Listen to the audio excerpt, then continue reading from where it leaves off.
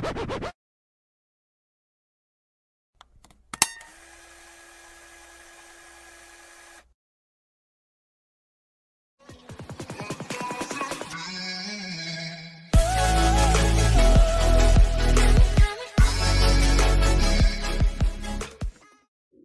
is up guys? Welcome back to my channel.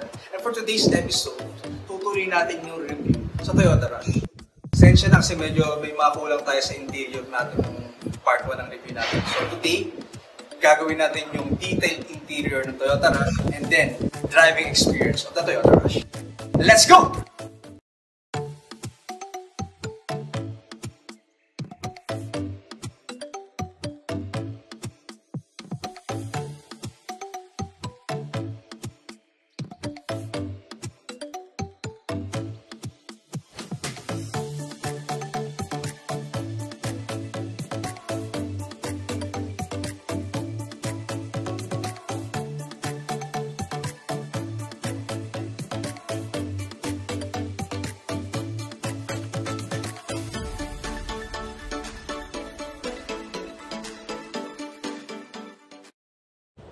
Simulan natin sa upuan. Itong upuan, manual seat adjustment to. Pwede natin siyang iabante at iatras. Ganito lang yan. Pwede rin iatras. Yan. Then, meron din siyang recline. Recline niya ay ito.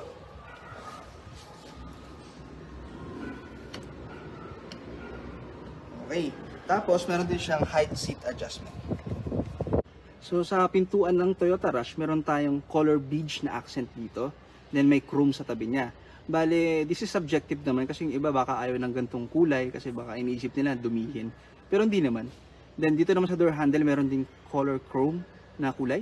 Then meron tayong two bottle holders sa ating pintuan. Same sa passenger side. Sa dashboard, meron din tayong color beige na accent. Magtutuloy-tuloy siya hanggang sa gitna ng ating infotainment system. Yan. Okay, then yung ating steering wheel, meron din siyang mga chrome na accent. To start the car, tapakan muna natin yung brake pedal. Then iilaw yung ating engine start stop. Kilik lang natin yan. Then magbubukas na yung sasakyan natin. Ito yung ating infotainment system. This is around 7 inches. Then meron tayong AM, FM, then Bluetooth connectivity. Meron din tayong web link. So wala lang tong Apple CarPlay and Android Auto no. Then yun lang yung ano ko dito takeaway. Sana binigyan na tayo ng Toyota noon. Pero wala pa siya currently. Pero para sa mga tito dyan, meron tong CD oh. Nakita nyo dyan. Yung pala. Eh, pwede kayo magkabit ng CD dyan. Ewan ko lang kung meron pa kayong mga ganyang bala.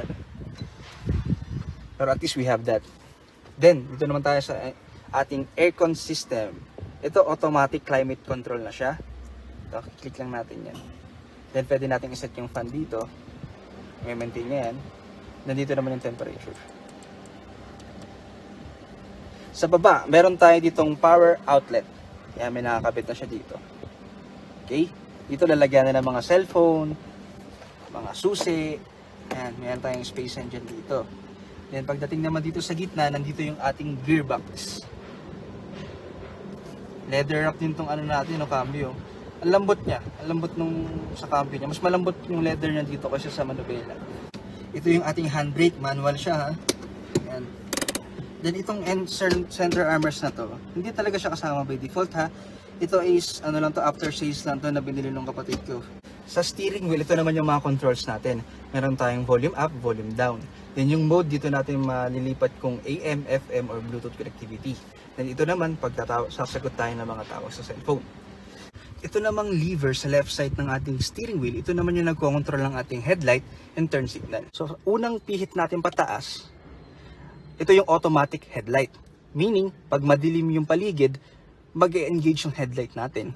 Then, pero pag maliwanag naman, mamamatay yung headlight natin. Okay, so next naman, ito naman yung DRL.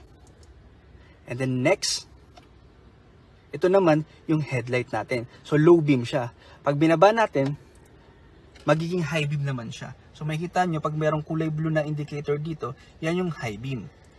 Okay? Pag binaba natin itong lever sa left side, yan yung ating left turn signal. Then pag inangat naman natin, yan yung right turn signal. Ito namang lever sa right side ng ating steering wheel, ito yung nagko-control ng ating wiper. So pag pinindot natin ito ng bahagya, yan, maglalabas yung tubig sa wiper. Then pag inangat naman natin siya, mag engage yung wiper ng isang beses lang. So pag binaba natin siya, ito yung automatic wiper. So masasense siya rin kapag umuulan, automatic siya mag engage Then pag wala ng ulan, hindi naman siya mag engage So pag binaba ulit natin ng isa, yan. Ito naman yung continuous na wipe niya lang. So ito yung first stage niya. Second stage, stage ito naman yung mabilis. Ito yung pag bumabagyo na. Sa mga aircon, ito naman yung aircon vents niya. Yung bilog siya ang kit niya. Parang anong puso ni Tony Stark. Tapos sa gitna, ito yung aircon vents niya. Din sa dulo, mayroon din tayong aircon vents yan. Glove box, ito siya. Yan, malaki din siya oh. Kasya yung mga ano, mga papers and documents mo. Ito naman yung controls ng ating side mirror. So, nakita nyo dito, meron siyang L and R. Parang joystick to. So, i-adjust ko siya. Ayan o. Okay. Then, ito naman yung ating ano, automatic sa bintana ng driver's part, driver's side. Ayan. Okay. Tapos ito, lock and unlock. Tapos meron na rin palang auto folding side mirror tong si Toyota Rush. Pag kinlik nyo to, pag nakapark na kayo, automatic nang magpo-fold yung side mirror natin. Then, pag kinlik ulit natin siya, bubukas naman siya. Amazing! Okay, so sa part 1 na video natin, explain ko na yung second row space. Ngayon naman, papakita ko yung mga accessories dito sa second row. Okay, dito sa door handle natin, meron ditong chrome na kulay. And then dito naman, merong beige na accent na meron ulit chrome na kulay. Then meron tayong bottle holders here. And then dito. Meron din tayong speaker dito. So meron tayong speaker sa magkabilang pintuan, left and right. Then meron tayong power outlet din dito sa second row. Same sa first row. Ito naman yung child safety lock located sa second row door. Okay, dito sa third row, meron din tayong speaker dito, magkabilaan. Then, meron tayong power outlet dito. Meron din tayong hawakan dito. Same sa second row, meron silang mga hawakan. Makikita nyo, meron din hawakan dito. And sa first row. So, kompleto tayo dyan sa mga handle natin. Okay, check naman natin yung space sa likod. May dala kaming ganun ngayon para makapakita ko sa inyo kung gaano talaga kalaki yung space niya. Let's go! Tingnan naman natin yung space sa third row. Ayan, meron na ditong dalawang galon. Kita nyo naman, kasyang kasya. Pwede pa yung pangatlong galon dito. Then meron pang additional space doon. Ngayon, check natin kung anong space siya pag tinupi natin itong third row. Ayan, kita nyo naman, no? Napakaluwag. Kahit higa nyo pa yan dyan, no? Ganyan kaluwag yung space niya. Kahit makaupo ako dito, eh.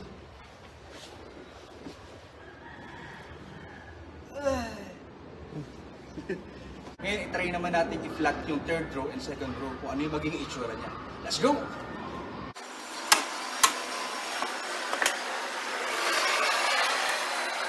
So, ayan, no?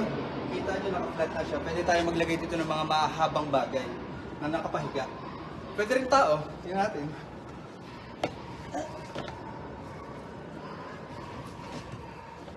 Ano? Okay ba? Yung spare tire naman, nasa ilalim siya ng sasakyan. Ang good thing dito, parehas lang siya na alloy wheel katulad ng mga ginagamit natin.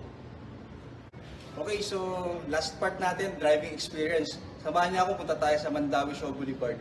Let's go! Okay, so ida-drive na namin tong rush. Punta kami sa Mandawi Foam. Samahan niyo kami. Let's go! Pagdating sa visibility, okay naman no kasi malaki yung windshield niya. Meron nga lang tayo ditong parang konting harang dito na makapal din siya. So magkakaroon tayo ng konting blind spot. So wanting to take note lang din about that. But overall, okay naman yung visibility niya talaga kasi mataas yung riding position mo eh. Pagdating sa suspension niya, okay naman no. Basta smooth yung daan natin and then kahit minor yung mga lubak, hindi pa rin siya ganun karamdam. Pero pag medyo malaki na yung mga lubak, definitely mararamdaman natin yung alog kasi SUV na to. Katulad lang din ng ibang SUV na medyo maalog. Okay. Ito may hams oh. Check natin yung suspension niya.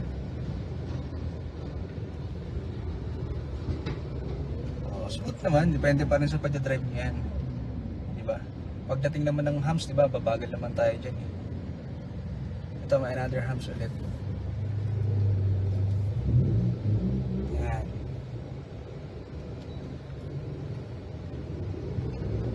Yan, smooth as silk.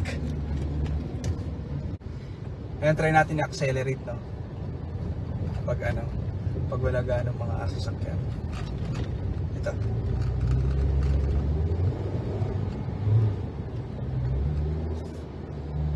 Woohoo! Yeehaw!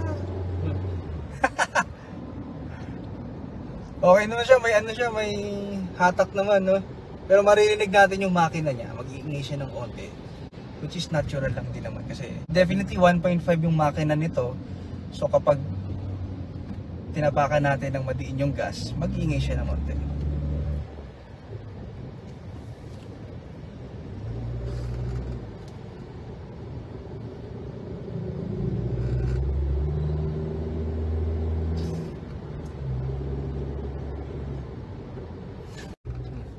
Okay, so papunta na tayo sa Mandaue Show Boulevard. Medyo maluwag naman. Sa EDSA lang yung traffic eh. Ito medyo maluwag pa siya. Update namin kayo!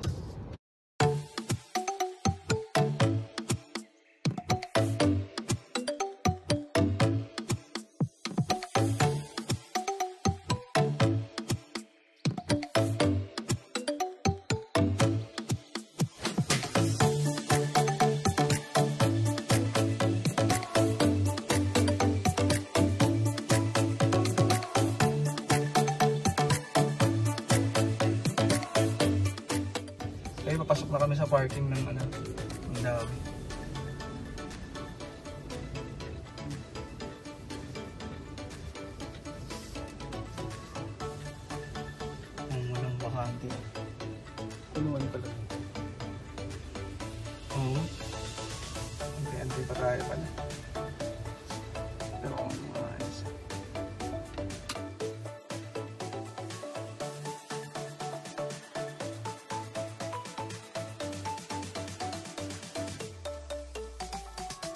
Shura. Shura. Tapos yung nakaraan, nag 30% off na. Naging 3 something na lang siya. 3,000 something na lang. Ito yung bala ko ilagay sa condo. Ito, parang marmot. Ito, paano tayo? Aha. Ah, medyo nakasagad yung ano ko gas sa mga 3-4. Nalilibid yung ba yung mga Woohoo!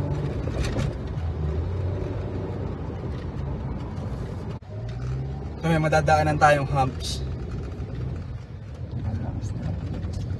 Ito, ito, ito.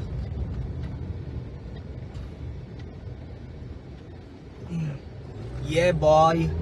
Yeah boy! Nadaan pala tayo ng Kalayaan Bridge no? Check nyo na lang. Meron din akong vlog na no, sa Kalayaan Bridge yung nagbukas sila. Check nyo rin yun ha. Thank you. Okay guys, so palabas na tayo ng Kalayaan Bridge. Meron ditong U-turn slot. Check natin yung turning radius ni Toyota Rush.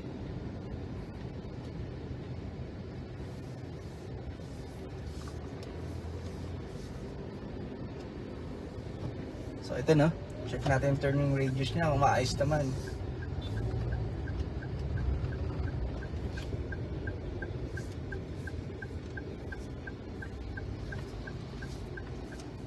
Training!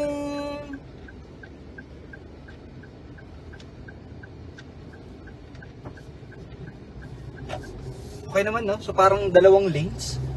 Nagpasiguro din ng dalawang lane yung nakain niya. Okay na din siya. Maayos din ang kanyang turning radius. That's it guys. Maraming salamat sa panonood.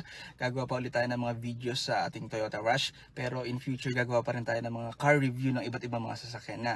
So maraming salamat sa suporta. Keep on subscribing sa channel ko. Thank you. Maraming salamat.